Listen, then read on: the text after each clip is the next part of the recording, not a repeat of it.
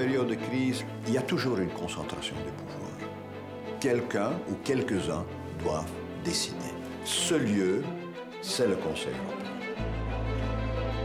Un million et demi de migrants arrivant, mettons en Allemagne, dans l'espace Schengen.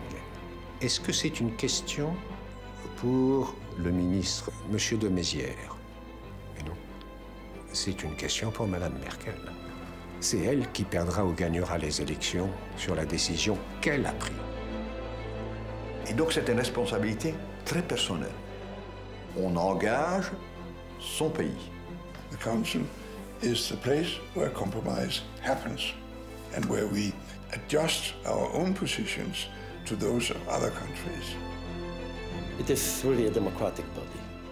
Voters in Europe constantly renew the composition of the European Council, which makes this work so fascinating for all of us. Aujourd'hui, les réunions des présidents et premiers ministres européens, ce qu'on appelle le Conseil européen, occupent une place centrale dans la prise de décision en Europe. Au début, ce n'était pas du tout prévu comme ça.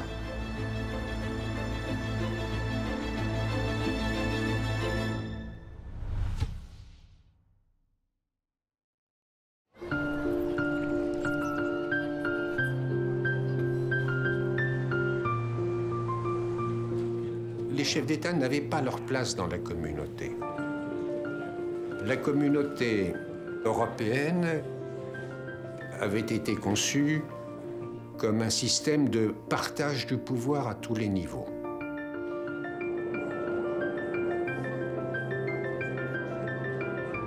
Au tout début, quand les chefs de gouvernement se sont mis à se réunir euh, de temps en temps, comme ça, à l'improviste, dans les années 60, les petits pays n'en voulaient pas. Parce que pour eux, la communauté, c'était une protection contre les grands et ils ne voulaient pas voir le retour de l'ancienne Europe par la petite porte à travers ces sommets.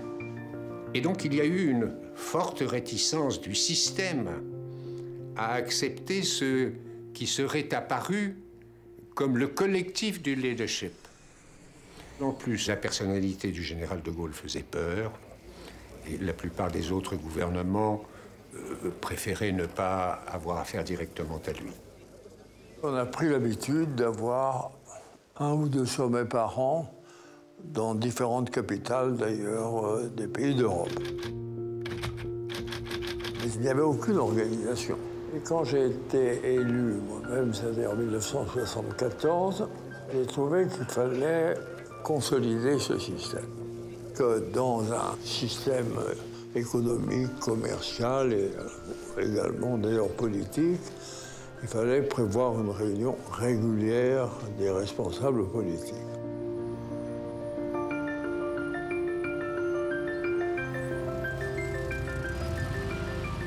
De plus en plus, il est apparu que les pays de la communauté avaient à se prononcer sur des questions qui, en vertu des traités, n'étaient pas de la compétence de la communauté.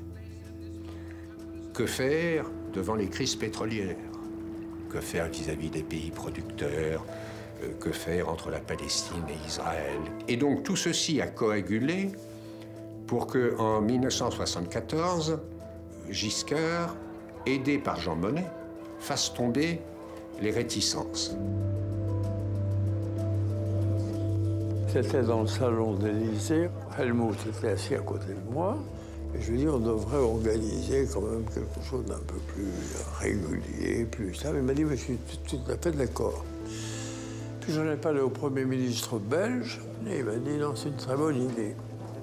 Les Anglais étaient moins enthousiastes, mais tout s'est terminé par un coup d'État de Giscard, puisqu'en séance à Paris, lors du dernier sommet, qui a été le premier Conseil européen, il avait été décidé qu'on ne donnerait pas de nom à ces réunions de chefs d'État et de gouvernement, et Giscard est sorti en conférence de presse en disant Nous avons assisté au dernier sommet européen et nous avons participé au premier Conseil européen. Les sommets sont morts, vive le Conseil européen. Donc là, il y a vraiment une institutionnalisation qui commence Et à partir de ce moment-là, le traveling circus, le carrousel européen pouvait commencer. Les réunions à travers toute l'Europe, dans un château une fois, une forteresse une autre fois, parce que chaque hôte voulait montrer l'Europe euh, comme elle était belle. Et ça a duré des décennies. Euh, les chefs d'État et de gouvernement se promenaient, c'était assez festif. Die Chefs haben es gemocht, zu reisen auf diese Weise, sich zu sehen, Land und Leute kennenzulernen. Und man konnte auch ungezwungener vorgehen letztlich.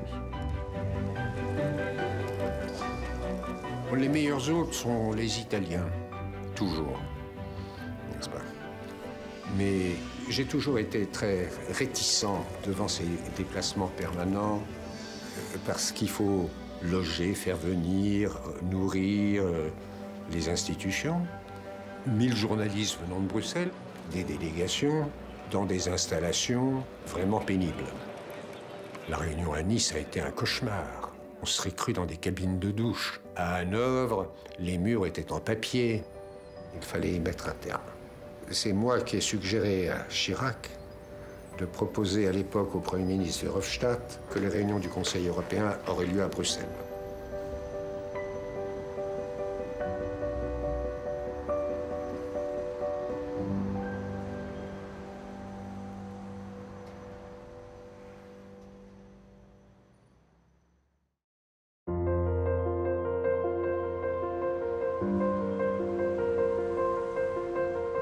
Le Conseil européen, au début, n'existait pas puisqu'il n'était pas dans le traité. C'était euh, le résultat d'un coup politique euh, de Giscard euh, à son époque, mais n'avait pas d'assises juridiques. La codification est venue avec le temps, et notamment en 86 avec l'acte unique. le traité a en quelque sorte accepté ce nouveau-né un peu étrange et lui a donné une place dans le régime juridique. Mais la grande nouveauté a eu lieu avec Maastricht qui inclut dans la zone d'intérêt de l'Union des questions qui, en vertu du traité, restent de la compétence des États. Et le fonctionnement du Conseil européen a été beaucoup modifié par Lisbonne, surtout par la création d'un poste de président permanent du Conseil européen. La fonction crée stabilité, la fonction crée continuité. je me souviens toujours, tout au début, euh, que la chancelière allemande me disait mais Herman, parce qu'on s'appelait par le prénom, qu'est-ce que tu vas faire entre deux réunions du Conseil européen? On va se réunir que quatre fois par an. On, dit que tu as une fonction full-time, tu ne l'auras pas. Après trois mois, on n'a plus posé cette question. Hein. La crise grecque a éclaté. Donc on, allait de, de réunion de crise en réunion de crise. Euh, et là, je crois que le grand avantage de la présidence permanente, c'est la continuité.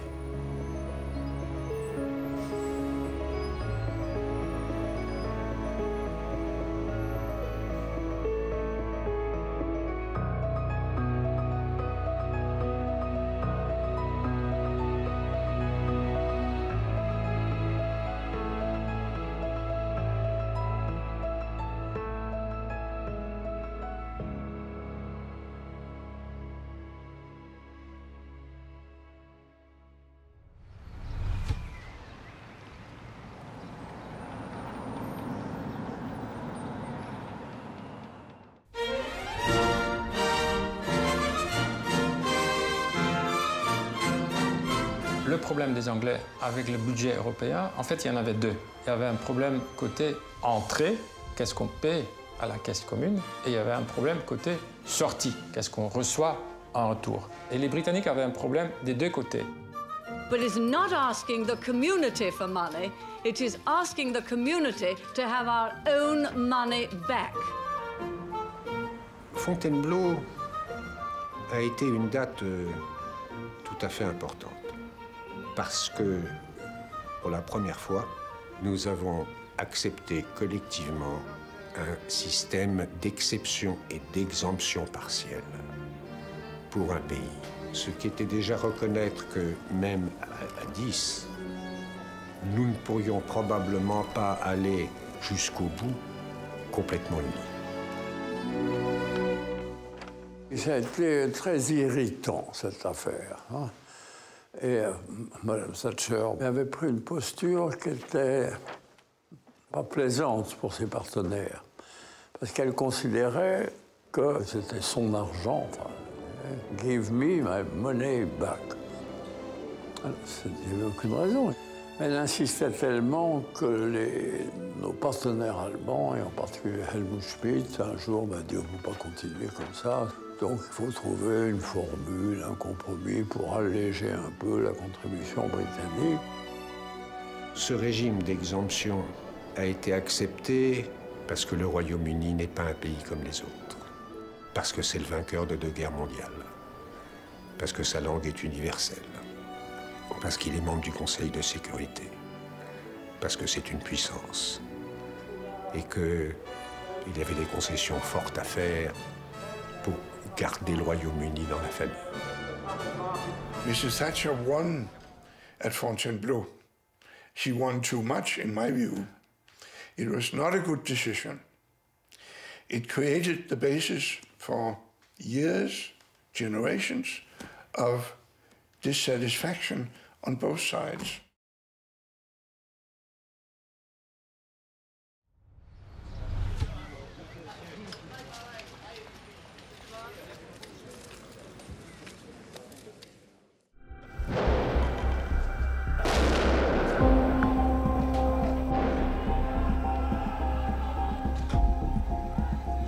Les années 80-84 avaient été des années très difficiles en Europe. Il y avait eu une crise profonde en Italie. Mitterrand avait été élu sur un programme de nationalisation et de fermeture des frontières. Il y avait un risque de véritable dislocation dans l'Europe. Et après ces années de remise en cause, tous les pays se sont donc retrouvés désireux d'aller plus loin dans cette espèce de transformation politique intervenue en fait en 83. Ich gebrauche im Deutschen ungern ein Wort, das ich im Französischen gern gebrauche, um Stimmungen zu erklären der damaligen Zeit. Damals gab es, wie der Franzose sagt, eine Komplizität. Es gab plötzlich eine kritische Masse innerhalb des Europäischen Rates, äh, die sagten, wir wollen einig sein. Wir wollen das schaffen. Wir wollen zusammenhalten. Das war Kohl, das war Mitterrand, das war Martens, ein Gonfales, plus Jacques Delors selbstverständlich. Und der Rest folgte.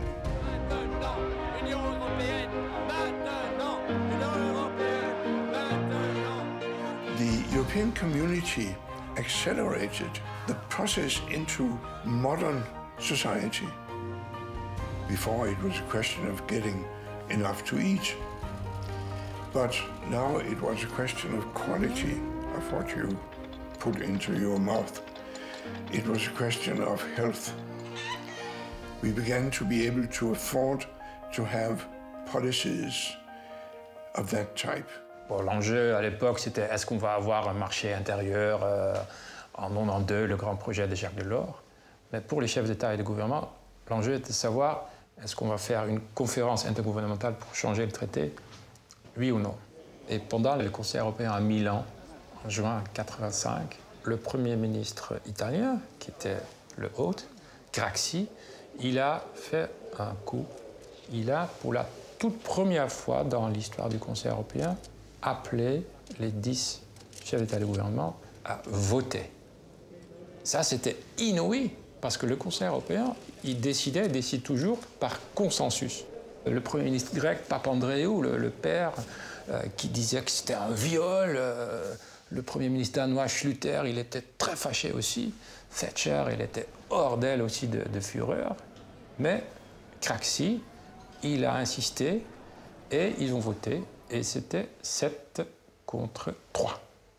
Et ils ont décidé au Conseil européen de Milan de convoquer une conférence intergouvernementale sur le marché intérieur. Cette conférence s'est tenue et elle s'est achevée au mois de décembre à Luxembourg par un temps abominable.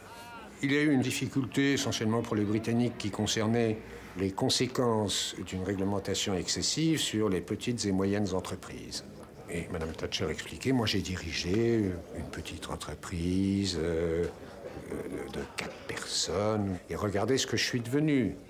Alors, euh, en Europe, se penche un peu sur sa table vers Mitterrand et Sono morti tre altri. Mais alors, il avait oublié d'éteindre son micro. Tout le monde a entendu, sauf Madame Thatcher, qui, je crois, ne parle pas l'italien. Mais ça s'est terminé très bien, et l'acte unique a, été bien mis en œuvre. And we drafted the treaty in four months. The complete text in four months. An enormous success. So that was the reason why the European community had this marvelous period in the 80s when we agreed, agreed, agreed, which was the basis for the belief that we could make the Maastricht Treaty.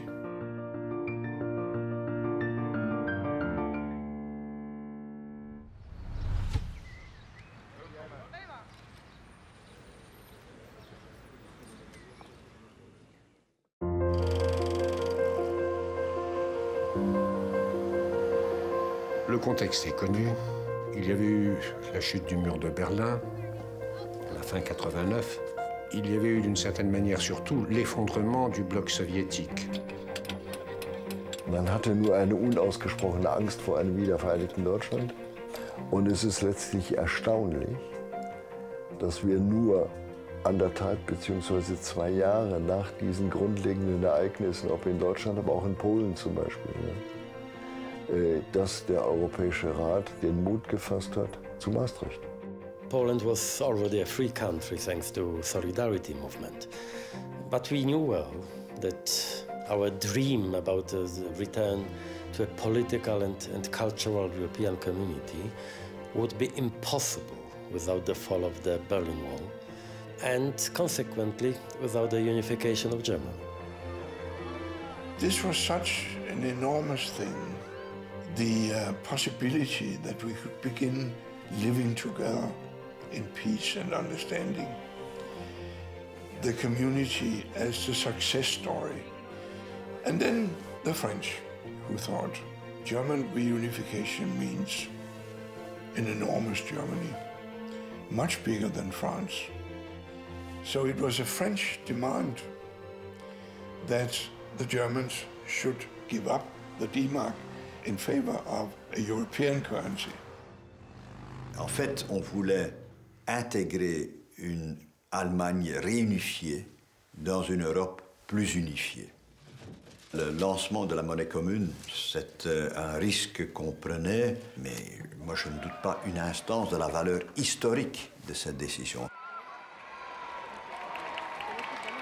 On commençait maintenant à construire une autre type d'Europe politique, avec la monnaie d'une part, mais aussi avec les prémices d'une politique étrangère et aussi les prémices d'une politique intérieure. Bien sûr, on peut dire euh, que ce n'était pas encore prêt, que ce n'était pas réussi, que c'était trop tôt, etc. Mais il y avait un vrai basculement, une métamorphose presque de l'ancienne Europe des règles à une Europe capable de répondre à des crises géopolitiques, politique étrangère, politique intérieure, des sujets dont les chefs d'État et de gouvernement considéraient que c'était à eux de les prendre en main.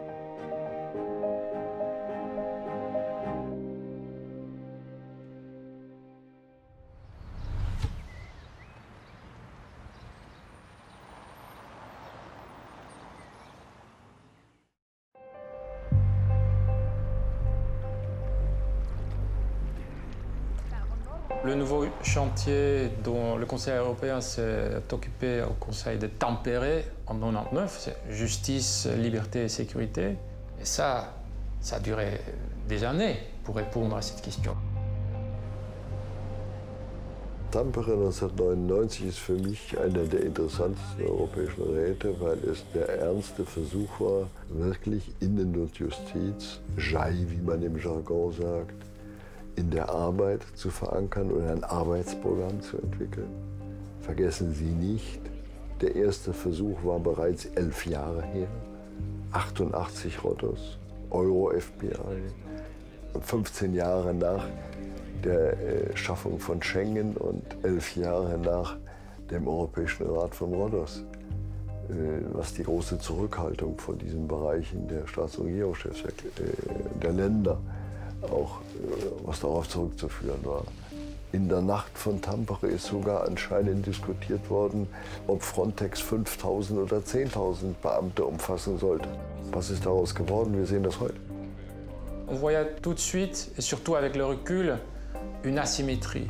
C'est qu'on a bien travaillé pour ouvrir cet espace Schengen, d'abolir les frontières intérieures, mais on n'a pas tiré la conclusion que abolition des frontières intérieures signifie aussi meilleure protection des frontières extérieures.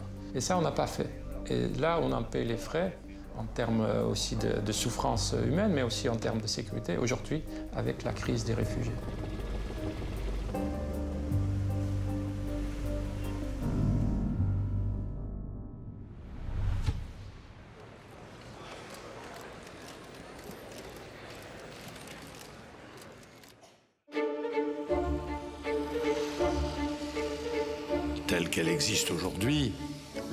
Peut pas fonctionner avec un nombre croissant de participants. Abbiamo quindi l'obbligo politico, ma anche l'obbligo morale perché Nizza sia un successo.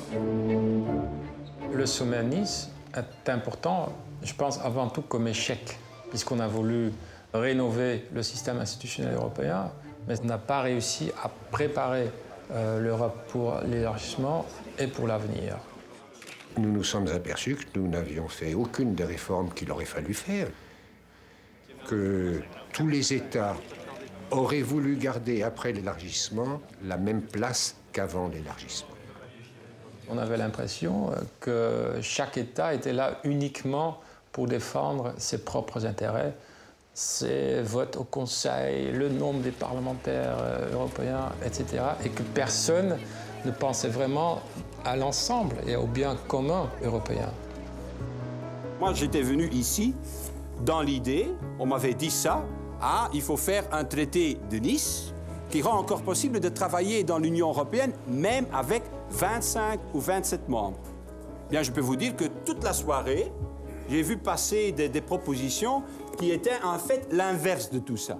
Les chefs d'État et de gouvernement sont allés euh, au maximum de ce qui pouvait être donné dans, dans cette négociation. Ce n'est pas une grande réforme. Maintenant, euh, il faut vivre avec cet accord.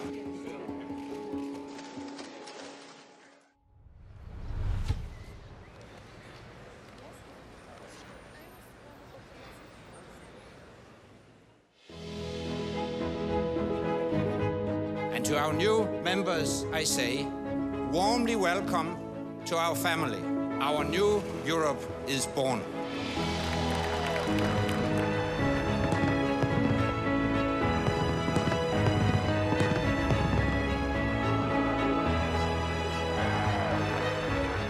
Le sommet de Copenhague a pris une décision fondamentale d'élargir l'Union avec dix nouveaux pays. Et je sais que par la suite, beaucoup ont critiqué ces décisions, qu'elles étaient mal préparées, que les pays n'étaient pas prêts, etc. Peut-être c'était vrai en partie. Mais il y avait déjà une décennie de préparation entre le moment où les premiers ont frappé à la porte et le moment où ils ont entré. On ne pouvait pas attendre infiniment.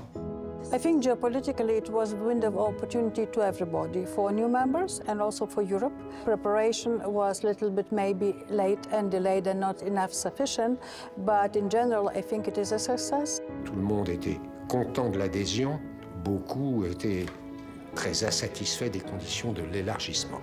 Certains des participants s'interrogeaient véritablement sur la question de savoir si la mère était capable d'avoir autant d'enfants. The European Union is about safeguarding democracy in Europe.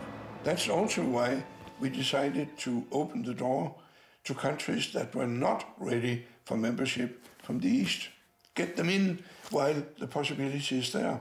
C'est eux, c'est la Pologne, c'est la Hongrie, c'est la Tchécoslovaquie qui ont frappé à la porte de l'Europe. Et c'est à cette euh, frappe à la porte que les 12 pays de la communauté ont dû répondre parce que c'était un vrai appel historique qu'on ne pouvait pas nier. The prospect of joining the EU meant the actual end of the Second World War. At the time, no one even thought about the financial benefits that come with uh, EU accession. The stakes were much higher than that. It was Central and Eastern Europe's to be or not to be. I may sound a bit sentimental, but I can say that for us in, in those days, Europe really was a symbol of freedom, mm, you know, high standards, prosperity, modernity, and, and security. And we have never been disappointed. It was a dream, and it is a dream still. Uh, because now we are capable to compare our countries, Baltic states, how we look like and how we are developed in 12 uh, years of our membership, and just very close to our border, how some East European countries are still looking like. So for us, this is the best uh, achievement in our history.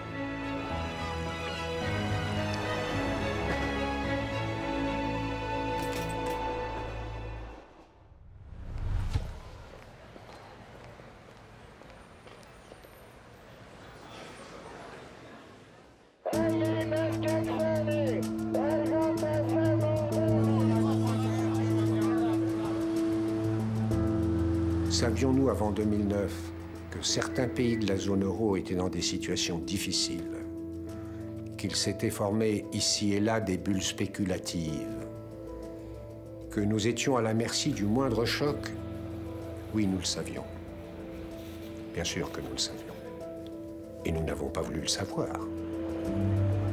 Lehman Brothers, la crise des dettes souveraines, ont évidemment eu sur les parties les plus faibles du bastingage le même effet que la banquise sur le Titanic.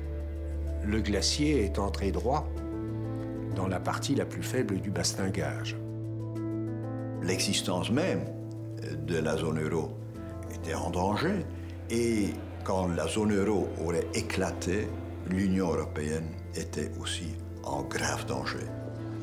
Donc on connaissait l'enjeu. En gros, il y avait un conflit entre deux groupes de pays. Les pays du Nord disaient, bon, il faut plus de discipline budgétaire et autres pour euh, venir à terme de cette crise. Et les pays du Sud disaient, ben non, il faut plus de solidarité euh, de vous autres envers euh, l'Europe. Je viens pour qu'il y ait des solutions euh, très rapides pour euh, soutenir euh, les pays qui sont les plus en difficulté sur les marchés. We lossen de problemen in Europa op door landen in Zuid-Europa, mits zij zelf verantwoordelijkheid nemen en de zwaarste voorwaarden accepteren te helpen hun problemen op te lossen. It cannot be lunch free of charge. On dit souvent les chefs d'État et de gouvernement sont inspirés par l'intérêt national. Oui, c'est vrai. Mais il y a un moment où on dit, écoute, il y a nos intérêts nationaux, mais comment peuvent-ils coïncider avec l'intérêt européen? Ce moment-là, on l'a trouvé en juin 2012.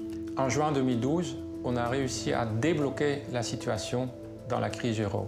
Au niveau solidarité, on a dit que les fonds de sauvetage mis en place pouvaient désormais aussi être utilisés pour les banques en problème. D'autre part, côté responsabilité ou discipline, on a décidé cette nuit que la Banque Centrale Européenne allait faire la supervision de toutes les banques en Europe. Et ça, c'était aussi une vraie percée. Ich glaube, dass wir damit, mit dem, was wir geschafft haben, einen wichtigen Schritt zu einem dauerhaft stabilen Euro genommen haben. Le vendredi matin, le président de la Banque Centrale Européenne, est venu chez moi en me disant, Monsieur le Président, est-ce que vous vous réalisez ce que vous, Conseil européen, avez décidé hier? Pour moi, c'est essentiel. Il était venu tout spécialement pour souligner l'importance euh, du résultat qu'on avait obtenu. Sans ce Conseil européen de juin 2012, je ne sais pas où on en serait aujourd'hui même. Wenn man heute über die Krise des Euro spricht, muss man zurückdenken zu der Gründung des Euro. Die D-Mark war für die Deutschen ein besonderes Symbol.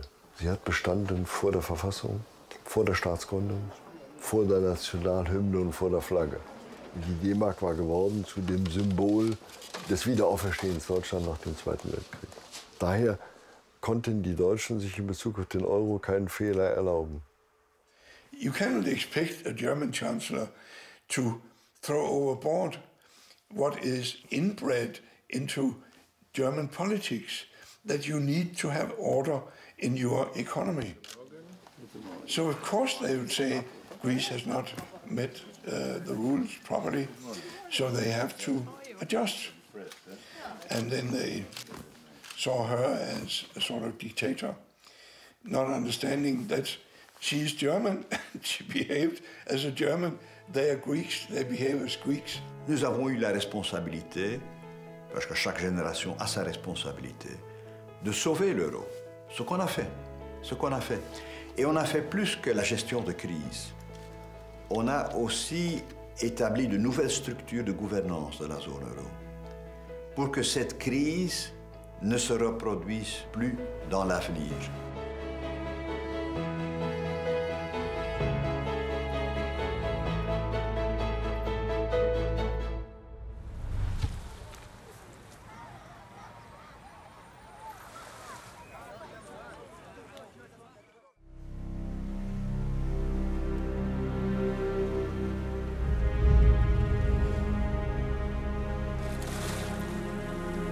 Savions-nous, avant la fin 2015, que nous avions devant nous un énorme problème potentiel de réfugiés? Bien sûr que nous le savions.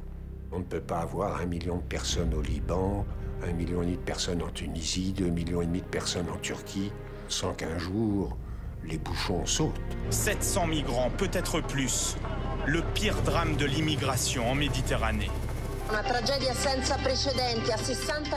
The problem is that as long as Europe is uh, simply a better place to live, we will continue to, to face migration uh, pressure. This is not a crisis. This is a civilizational phenomenon which will accompany us for many, many years. And this is why the primary task is to build a real functioning uh, external border according to the rule of law, of course, to protect the European Union. Je crois que les gens ont été généreux et solidaires au début de la crise migratoire, mais en voyant qu'il y a encore des millions de gens qui pouvaient venir, il y a eu une peur et on a dû prendre des mesures pour que ces autres millions ne viennent pas. Et après des hésitations, on a trouvé cet accord entre l'Union européenne et la Turquie qui a arrêté en fait l'exodus. C'est pas la solution de nos rêves, mais il n'y avait pas d'alternative. Le deal euh, avec la Turquie du printemps 2016 est un moment important parce que euh, on est allé disons, jusqu'à la frontière de ce qui était juridiquement, peut-être aussi éthiquement euh, possible ou acceptable. Et on peut le critiquer, beaucoup l'ont fait, mais on peut aussi y voir un signe d'une perte d'innocence géopolitique. Jusque-là, l'Europe a toujours voulu être la, plus belle, innocente, euh, elle qui ne fait pas de power politics euh, comme les grandes puissances. Mais dans le monde d'aujourd'hui, qui est tellement dangereux, où les choses changent vite, et on a affaire avec des dictateurs euh, autour de nous, il faut aussi parfois avoir euh, les mains sales, malheureusement, pour survivre.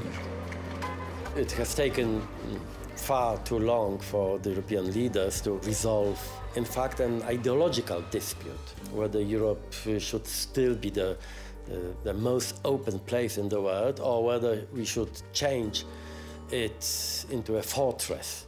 And this is why it took as such a long time to take practical actions, including the so-called Turkish deal, uh, logistical support for, for the Macedonian border and, and, and Bulgaria, and uh, cooperation with, with some African countries.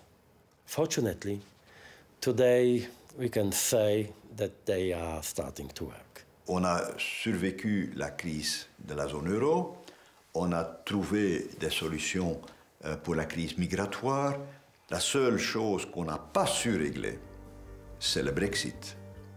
Là, avec tous les efforts même que les 27 ont fait, la Grande-Bretagne a fait un autre choix.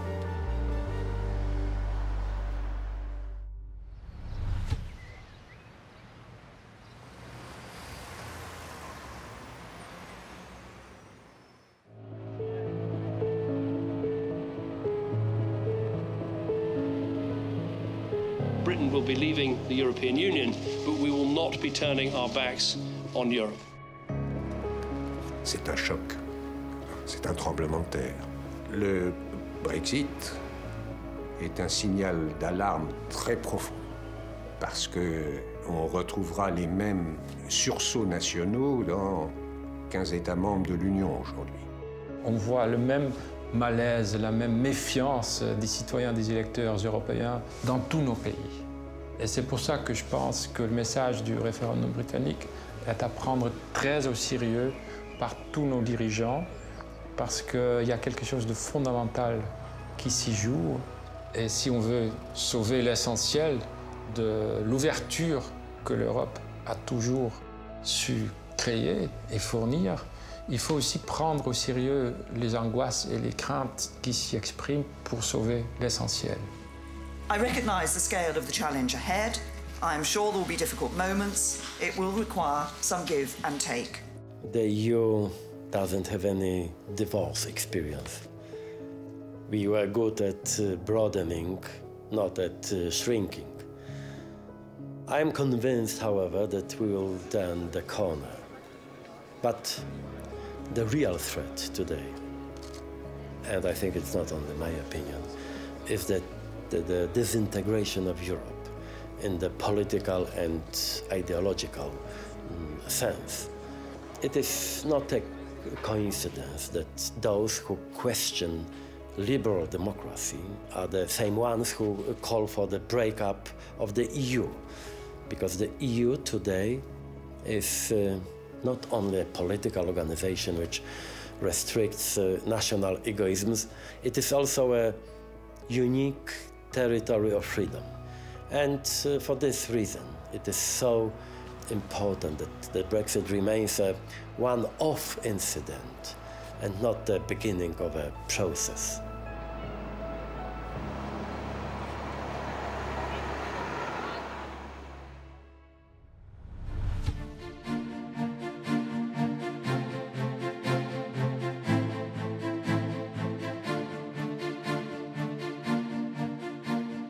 Pourrait comparer le Conseil européen à une centrale électrique. Avec une réunion, les avions qui arrivent, la vitesse, etc., les chefs d'État et les gouvernements, il y a une énergie massive, presque folle à ce moment-là.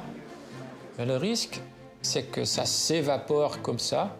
Et là, le président du Conseil européen a un rôle euh, vital pour que l'énergie euh, d'un sommet soit transformée en action à travers toute l'Europe.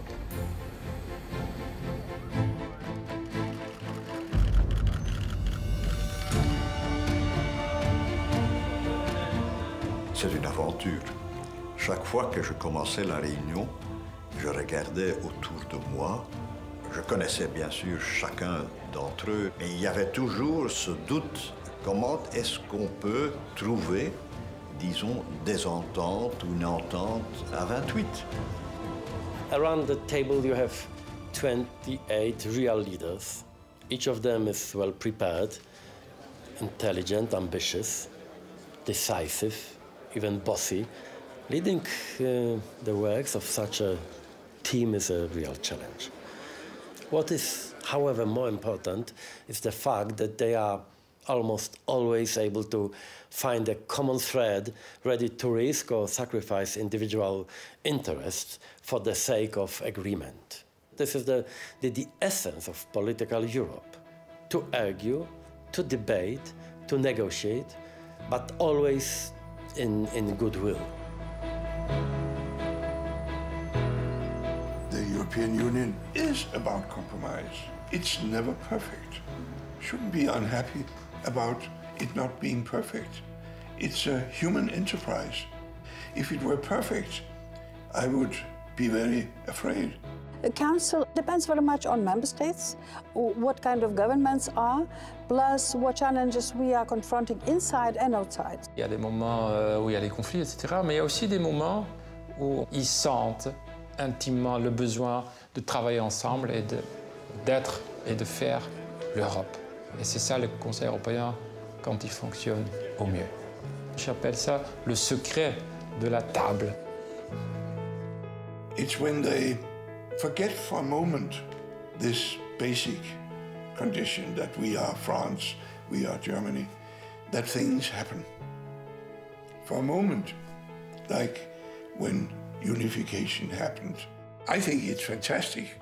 It's a fairy tale in a way. Un moment émouvant a été la remise du prix euh, Nobel de la paix à l'Union européenne. Pratiquement tous les chefs d'État et de gouvernement étaient là. J'ai parlé de notre histoire, histoire de guerre de l'Europe. Euh, J'ai parlé de mon père qui a failli être exécuté en mai 1940. J'ai parlé en fait du vécu de notre histoire, pas uniquement de l'histoire institutionnelle de l'Union européenne. Je crois que tout le monde est sorti de la réunion avec ce grand souffle en soi, disons, on participe à une grande œuvre.